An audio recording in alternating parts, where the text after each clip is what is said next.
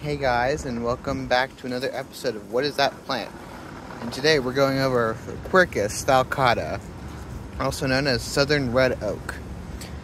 Now, this oak I like to refer to as the pointy oak, because other, unlike its uh, cousin white oak, red oaks have pointy leaves and much glossier leaves. Like you can see it right here when I do that, that like sheen. That's the glossiness. They're also a lot more brown when they finish uh, getting ready for the uh, for winter. Their leaves fall off a lot more brownish orange. Now, these ones have acorns that are a little bit bigger, a little bit chunkier, a lot longer than some of their other oak cousins.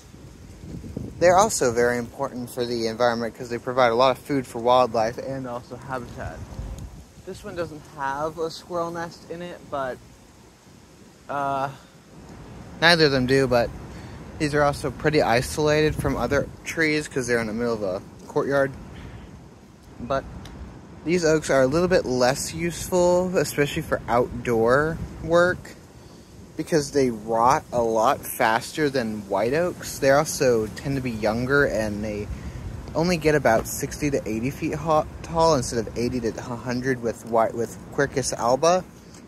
Now, the good news about these trees is that they are very good shade trees and they grow a grow a little faster than their white cousins. These oak trees are also incredibly beautiful. Oh my gosh.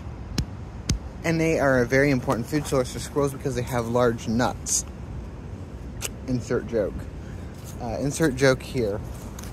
I mean, these are pretty small, but they can get quite big. And I mean, their leaves can really do range. They range from like what you saw earlier to, to this. Look at that. So freaky, so spiny. Ow, that's sharp. Ow, that actually hurts. That, that, that touched the inside of my nose. That actually hurts continue with your gardening. Enjoy the quercus while they're still pretty.